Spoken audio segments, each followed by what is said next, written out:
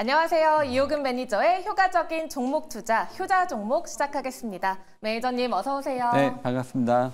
네, 그럼 본격적으로 오늘의 첫 번째 효자 종목을 만나볼게요. 먼저 종목의 점수부터 체크해 보겠습니다. 첫 번째 효자 종목 몇 점을 받았을까요? 오, 추세에서 10점 네. 만점에 9점을 받았는데 어떤 네. 기업이죠? 어, 최근에 이제 상승세가 상당히 어, 강하게 올라가는 종목인데요. 네. 첫 번째 종목 PSK 어, 첫 번째 종목으로 준비해 봤습니다.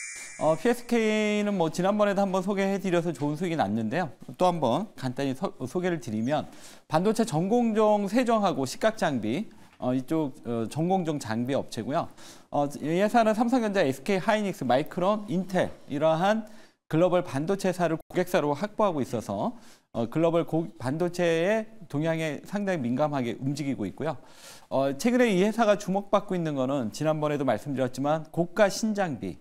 이게 이제 지금 하반기부터 본격적으로 양산에 들어가지 않- 않을까 이렇게 지금 기대를 모으고 있습니다. 어, 이 부분은 이제 기존에 없던 새로운 장비가 생기니까 기존 어, 실적에 또 하나의 이제 upside가 생기는 거기 때문에 그것만큼 주가가 좀 강하게 올라가고 있다. 그래서 상저하고의 실적이 기대되면서 어, 지금 주가의 우상향의 흐름이 나타나고 있는 종목입니다. 네, 근데 최근 HBM 반도체주가 강했는데요.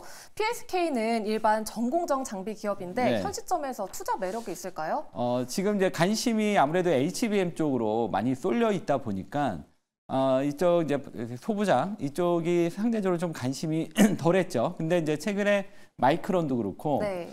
그 다음에 삼성전자도 그렇고 어, 그리고 또 지난번 이제 마이크론의 CEO가 뭐라 그랬냐면 AI 때문에 메모리 업황이 상당히 빨라지고 좋아지고 있다. 뭐 이런 얘기도 있었습니다. 그렇게 되면 이 회사는 반도체 사이클에 있어서 가장 이제 좀 중심이 될 수 있는 장비사이기 때문에 아, 이 부분도 한번 기대해 볼 수 있겠고요. 그 다음에 무엇보다도 이제 이번에 새롭게 어, 양산이 시작되는 고가 장비 이게 어떻게 진행될 건가? 어, 이 부분이 어, 이 회사의 주가를 계속 끌고 갈 겁니다. 그래서 어, 지금까지는 이제 고가 장비로 움직였지만 이제 이후에는 또 반도체 사이클로 또 움직일 수 있는 그러니까 두 번의 상승이 나올 수 있는 종목이다 이렇게 보고 오, 있습니다. 네. 그럼 PSK의 자세한 가격 전략 세워보겠습니다. 네, 어, 차트를 보시면서 이제 가격 전략을 말씀드리면 지난번에 한번 이 자리에서 소개해드리고 지금 최근에 많이 올랐습니다. 아, 근데 많이 올랐음에도 불구하고 여전히 어, 지금 이제 신고가의 흐름이 나오고 있고 최근에 보시면 알겠지만 가는 종목이 더 잘 가는 이런 패턴도 있고요.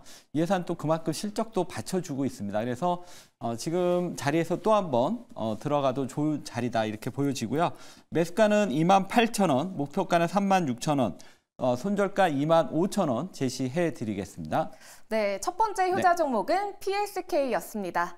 오늘도 리뷰할 기업이 많은데요. 그 중에서 3월 7일에 매수한 네. ISC가 최고가 기준으로 30%, 37% 수익을 기록했고 또 목표가까지 달성을 네. 했습니다.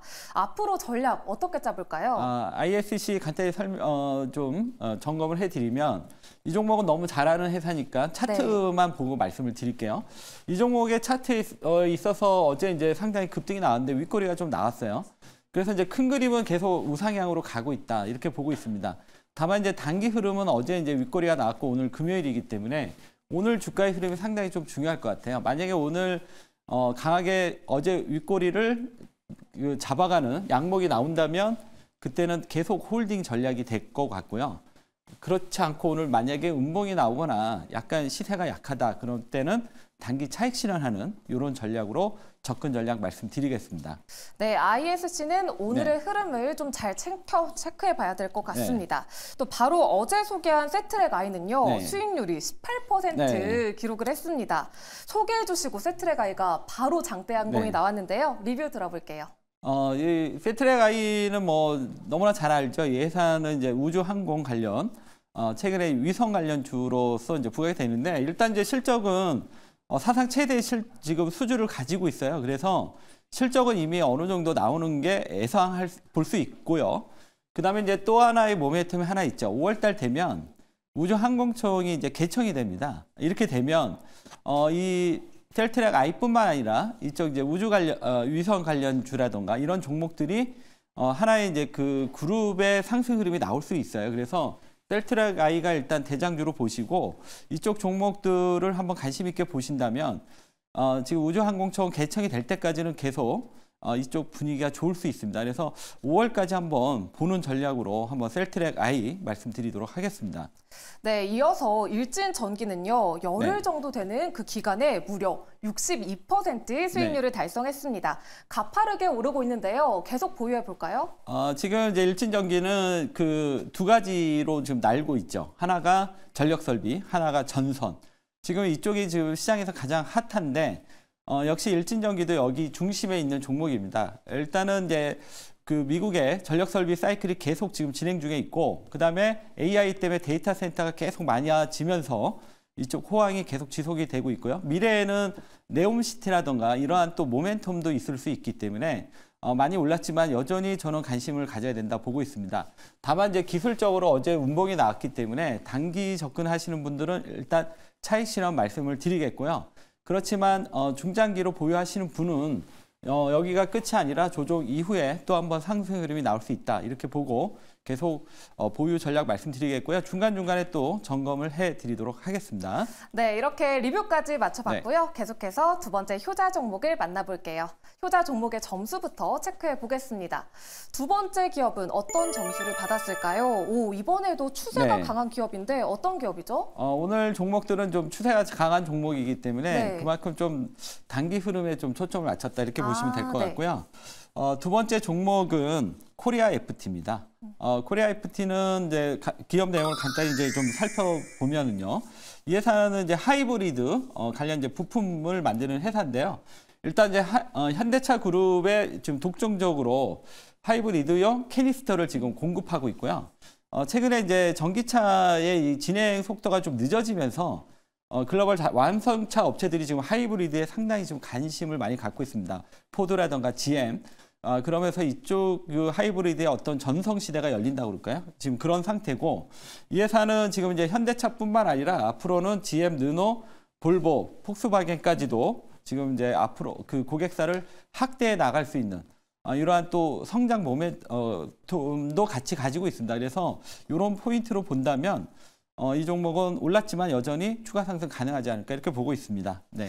네, 그리고 이 기업은 네. 매니저님이 1월에 소개해 주시고 참 큰 수익을 네. 안겨다 준 기업인데요. 이미 주가가 많이 올랐는데 네. 여전히 상승 이어질까요? 네. 어, 저는 이제 그 좀 길게 많이 가는 종목들을 에- 어, 웬만하면 소개를 해드리려고 그러는데 네. 코리아 FT도 이제 그런 종목 중에 하나였던 것 같습니다. 이 종목은 이제 많이 올라서 너무 오른 게 아닌가 이렇게 부담을 가질 수 있는데 어, 우리가 이제 종목을 접근할 때는 이제 기업의 내용이 중요한 것 같아요.